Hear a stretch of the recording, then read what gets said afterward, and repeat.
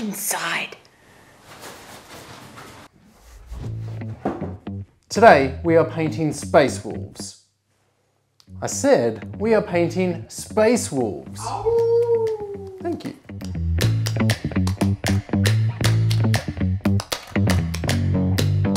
Recently, Wolvencraft sent me a Space Marine model and told me to paint it for him and then post it back. The nerve! You know what he said to me? He said if you paint this Space Marine up as a Space Wolf, then you could use it as a tutorial for others to follow along. Are you kidding me? Why can't you just paint the model yourself? I don't have time for this. Do you have any idea how busy I am? It's not actually a bad idea. I might in fact do it, but not because you told me to. Fine, okay, let's do it. Here's how it works. You've seen the thumbnail so that you know how the model turns out, but this is pitched at the beginners and will be a step-by-step -step guide for you guys to follow along, and you'll be able to end with a model that looks the same as mine. Along the way will be some jokes and also some lore to help break up the action and keep you guys entertained. The selected model for today is a Space Marine Primaris Lieutenant with Storm Shield, because there's a little bit of everything going on and we can look at some basic customization as well.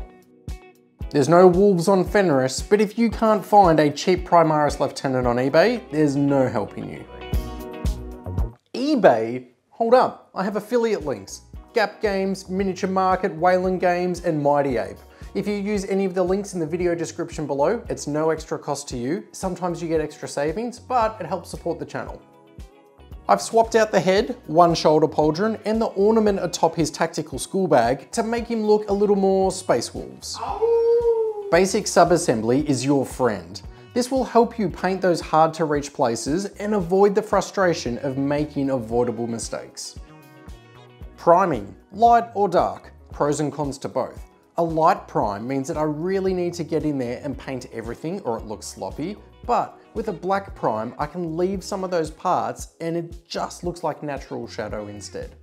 I want my Space Marine armor to be a little bit lighter this time, and I know that I'm gonna end up with some bone and yellow colored armor panels, and those are 100 times easier to paint over the top of a light colored primer. The armor is the bulk of our Marine, and it's a fun place to start. I can't find the exact color I want, so I'll create it with a mix of two paints, being the Fang and Russ Grey. This is a cool takeaway for our beginner painters.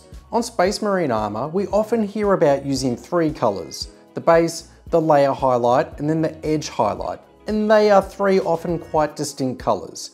If you're a pro painter, you can pull this off, but for the rest of us, it might end up looking a little cartoony as we jump from color to color. I'm still going to use three colors here, but if we mix it up and down from a 50-50, we will still have shadows and highlights, but they will be calmer and for us beginners who aren't perfect and steady-handed, our imperfections won't be jumping off the model at the viewer. We started our armor in the midpoint, the average of how I think it will end up looking, meaning we need to have areas darker and areas that are lighter from here. So for the thin shadows and panel lines, I'm mixing in a little incubi darkness. By painting these lines in, this will give us contrast. These are the darkest parts of our armour, and when we finish, you'll be able to see... Wait, I've got a better idea. Check this. This is how the armour will end up looking for my Space Wolf. So here is my medium starting base coat that we've already completed.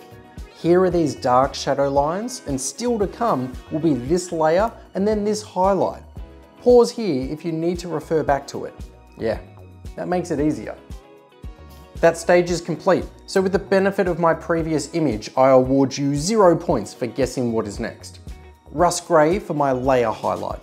I'm no spring chicken, so my eyesight and steady hands like to betray me, so I find that a thin and tidy brush can save me and do most of the heavy lifting for me. And here's how he's looking so far. It feels like slow going, doesn't it? Well, it does, and the reason for that is we're only painting one model. If we were painting a batch of Space Marines, like a whole squad, we could have an assembly line where we paint this step across all of the Marines, picking them up one at a time, and then moving on to the next step. Overall, you save a bunch of time. Fenrisian Grey mixed with Russ Grey to act as my brightest highlight and I'm not too worried about areas that people can hardly see and I'm instead targeting the prominent raised areas. Keep this colour on your palette because we are going to use it again in under a minute. Battle damage is optional, but I will say this, I've painted almost half a dozen complete armies now, and the ones that I find the most interesting are ones that convey a story. If this Space Wolf had pristine armor, then that tells the viewer that he hasn't been in combat yet. Boring. But if I had a whole bunch of dints and scratches, then it looks like he's just finished punching a whole bus full of heretics to death before striking this iconic pose. To make the damage look three-dimensional, I'm using that bright highlight again and painting the underside of my dints and scratches just like this. Space Wolves have accent colours of red and yellow, so I block out these panels now. If I was painting a squad of infantry, I would probably choose one of these colours or select fewer panels so that even if your army-wide paint scheme is these three main colours, you can separate some of your squads and unit types by mixing up who gets what. The lore aside for a minute, I might for example select a tactical squad to have a yellow shoulder pauldron and then on a squad of blood claws give them a red shoulder. This lieutenant though is so special that he can be adorned in all of the colours. A quick side note to say that if you have made it this far into the video without grabbing your keyboard, hitting caps lock and telling me that it's actually pronounced lieutenant, I am so proud of you. Look at how far you and I have come. Language, it's a beautiful thing. You know what else is beautiful? That's right, not having to freehand paint any symbols. If you're good at it and you enjoy it, go your hardest. For the rest of us plebs, let's talk about decals. You've seen me apply them before, so I won't subject you to that magical experience, but once they are on, I look for ways to blend them into the surface. If I was using a wash, I would apply this now, but I want my yellow to stay bright, so I'm instead repeating the process of a couple of scratches. Not every part of your model needs to be some complex 15 step process and having a whole bunch of tidy but otherwise tame areas can help make the important parts really stand out. I'll want the armor, the plasma pistol and the shield to look cool, so a lot of these other areas can get some basic attention and I'll be happy. I'll show you some of this base coating, shading and highlighting, but rather than listing paints over and over, I'll add them up here in the top corner and instead talk a little about the Space Wolves. The Emperor's 6th Legion and undeniably one of his most loyal, with their unflinching allegiance to him. Comparatively, they are a small legion and operate as shock troopers, fast and violent combat with a dramatic Viking flair to them. Space Vikings, Spikings, no one calls them that. Their Primarch is Leman Russ, and he was raised by wolves on the ice planet of Fenris, which, despite being incredibly difficult circumstances to grow up, would also be a handy excuse if ever you got caught dragging your across the new rug. Space Wolves likely have low numbers within their ranks as a result of the grueling trials that one must succeed in before even getting a sniff at entry into the Legion. Aspirants are selected from the tribes on Fenris and are equipped with the most basic of furs and weaponry before being sent in the extreme conditions of the wilderness. There they must hunt and kill a Fenrisian wolf and return with one of its fangs. The trials don't end there though, and they grow increasingly more difficult. One stage involves passing through an ancient portal surrounded by molten lava. Now, I happened to ring ahead to the recruitment office and to my surprise, I was excited to discover that I was eligible for recognition of prior learning by demonstrating my skills as a father by being able to navigate our hallway at midnight and not step on the scattered pieces of Lego. So there you go, if you're new to the world of Warhammer 40,000, there's a little taste of the background of the Space Wolves. I said, there's a little taste of the background of the Space Wolves. There's a variety of layers and highlights going down with the majority you can work out because no techniques have changed. However, both the leather holster and the shield will have some new elements, so let's take a look at them. The holster just had a thin shadow of a darker brown, and now I'm creating a worn cracked leather look by instead of an edge highlight, I'm painting these short sharp marks. First with a medium brown and then with a bone colour. The sharper the brush, the better, and if you find stages like this difficult, consider the brush you are using. I've been using Rosemary & Co brushes for around 5 years, and now they also support my channel. There's a link below in the video description for the exact ones I use if you're in the market for some affordable and high quality brushes for your minis. There were some similar scratches going onto the casing of the plasma pistol, and now that I'm onto the shield, I've started with a base coat of Wraithbone before highlighting with a bright white.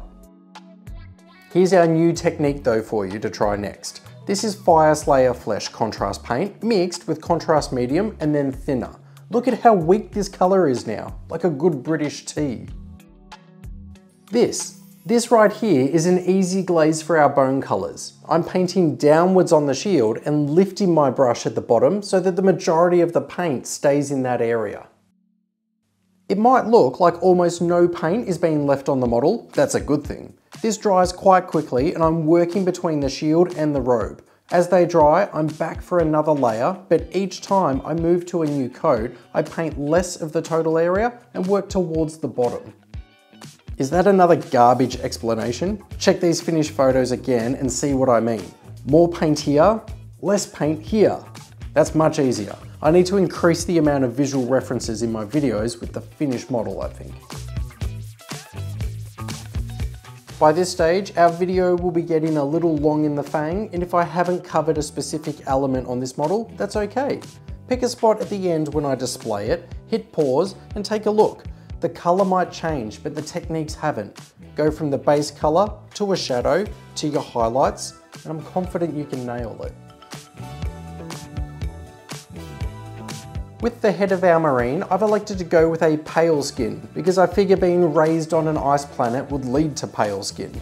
But as I paint an entire army, I will mix this up. And if my marines were on a prolonged campaign somewhere exposed to greater heat, then I'd probably give them a healthy tan. The glow of the plasma pistol is the same technique that I used in this video up here, where I painted a bust of Horus Lupercal for one of our Discord members. Whilst I'm layering and glazing here, how about I tell you a little bit about our Patreon and also our Discord. Flashing Badger is supported financially by these magnificent individuals at only a dollar a month and they get behind the scenes sneak peeks and like in this case, every now and then, one of them might just get a model painted by me for them to keep.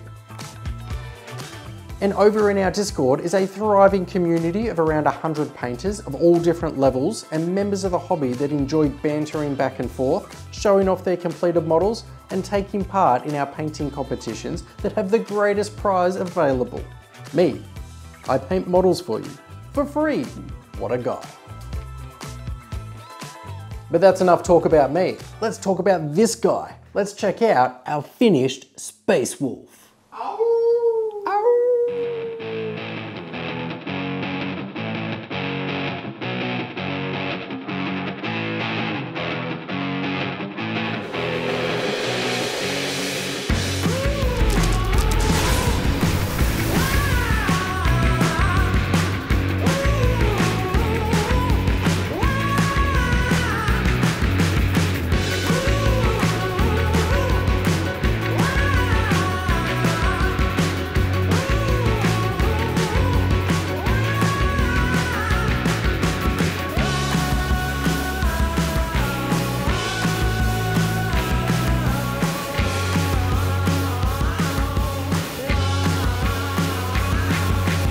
I've had heaps of fun today getting to paint my first ever Space Wolf and I'm even more excited knowing that now I get to post this to someone who will have it feature in their games and sit on their display shelf with the rest of their army.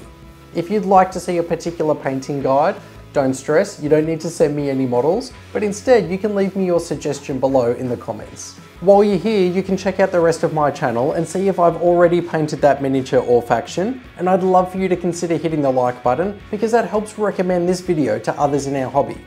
Now importantly, a very fitting way to end this video is to show off some of the amazing companions from our Discord members. Thank you so much and I'll see you on the next video.